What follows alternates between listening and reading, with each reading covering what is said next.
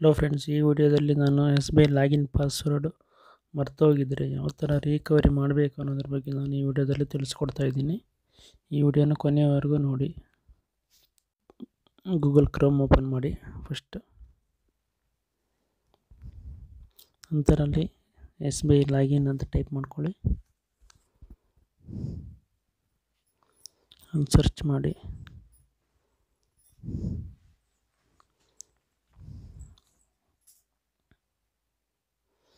First State Bank of India ಅಂತ click ಮಾಡ್ಕೊಳ್ಳಿ. ನಂತರ ಓಕೆ ಆದಮೇಲೆ ಕಂಟಿನ್ಯೂ ಟು ಲಾಗಿನ್ ಅಲ್ಲಿ ಪರ್ಗೆಟ್ ಲಾಗಿನ್ ಪಾಸ್ವರ್ಡ್ ಅಂತಿದೆಯಲ್ವ, ಅದನ್ನು ಕ್ಲಿಕ್ ಮಾಡ್ಕೊಳ್ಳಿ. ಅಲ್ಲಿ ನೆಕ್ಸ್ಟ್ ಪೇಜಲ್ಲಿ forget law forget my login password okay ಇದೆಯಲ್ವ? Next okay ಮಾಡಿ.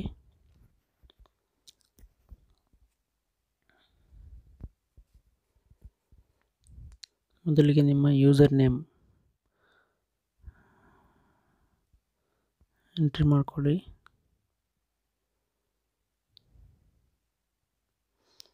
ನೆಕ್ಸ್ಟು ನಿಮ್ಮ ಅಕೌಂಟ್ ನಂಬರ್ ಎಂಟ್ರಿ ಮಾಡಿ.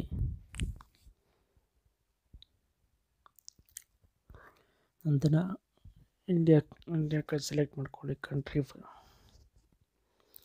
ಅನಂತರ ನಿಮ್ಮ ಮೊಬೈಲ್ ನಂಬರ್ ಎಂಟ್ರಿ ಮಾಡಿ. ನಂತರ ನಿಮ್ಮ ಡೇಟ್ ಆಫ್ ಬರ್ತ್ ಎಂಟ್ರಿ ಮಾಡ್ಕೊಳ್ಳಿ.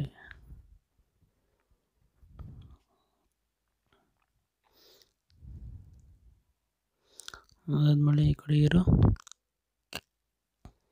ಕ್ಯಾಪ್ಚಾ ಕೋಡ್ ಎಂಟ್ರಿ ಮಾಡಿಕೊಂಡು.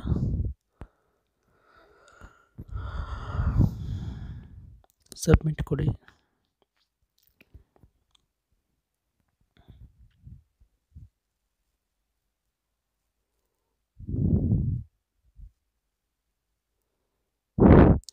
ನಿಮ್ಮ ಮೊಬೈಲ್ ನಂಬರಿಗೆ ಒಂದು ಒ ಟಿ ಪಿ ಬರುತ್ತೆ. ನಾವು ಒ ಟಿ ಪಿ ಎಂಟ್ರಿ ಮಾಡಿಕೊಂಡು ಕನ್ಫರ್ಮ್ ಓಕೆ ಮಾಡಿ.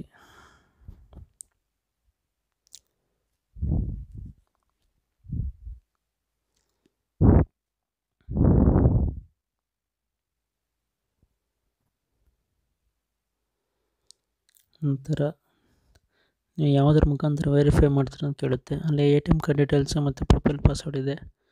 ಬ್ಯಾಂಕ್ ವಿಸಿಟ್ ಇದೆ. ಅಲ್ಲಿ ನಿಮ್ಮ A T M card details okay ಮಾಡ್ಕೊಳ್ಳಿ.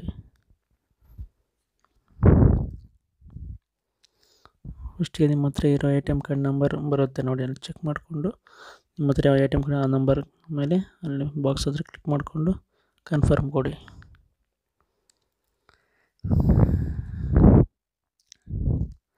ನಂತರ ನೀವು ಅಲ್ಲಿ A T M card expire date ಮತ್ತು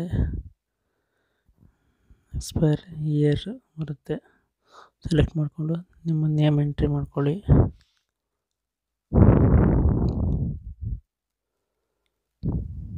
ಮತ್ತು ನಿಮ್ಮ password A T M password password entry ಮಾಡ್ಕೊಳ್ಳಿ. ನಂತರ ಅಲ್ಲಿರೋ ಕ್ಯಾಪ್ಚಾ ಕೋಡ್ ಎಂಟ್ರಿ ಮಾಡಿಕೊಂಡು.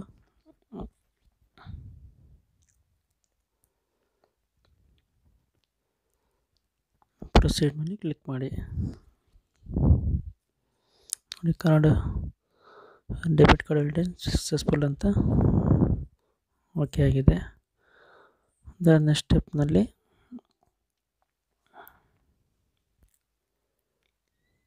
ನೀವು ಹೊಸ ಪಾಸ್ವರ್ಡ್ ಮತ್ತು ಸೆಟ್ ಮಾಡ್ಕೋಬೋದು. ನಿಮಗೆ ಯಾವ ಬೇಕೋ ಪಾಸ್ವರ್ಡ್ ಸೆಟ್ ಮಾಡ್ಕೊಳ್ಳಿ.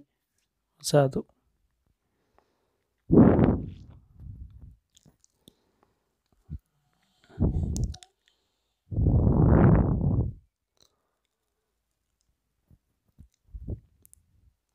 ಮತ್ತು ಸೇಮ್ ಪಾಸ್ವರ್ಡ್ ಮತ್ತು ಕನ್ಫರ್ಮ್ ನ್ಯೂ ಲಾಗಿನ್ ಪಾಸ್ವರ್ಡ್ ಮತ್ತು ಎಂಟ್ರಿ ಮಾಡಿಕೊಂಡು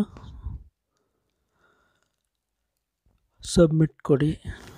ಈಗ ನಿಮ್ಮ ಪಾಸ್ವರ್ಡ್ ಚೇಂಜ್ ಆಗಿದೆ. ಈ ವಿಡಿಯೋ ನಿಮಗೆ ಲೈಕ್ ಆಗಿದೆ ಈ ಚಾನಲ್ಗೆ ಸಬ್ಸ್ಕ್ರೈಬ್ ಮಾಡಿ. ಮತ್ತೇನಿದೆ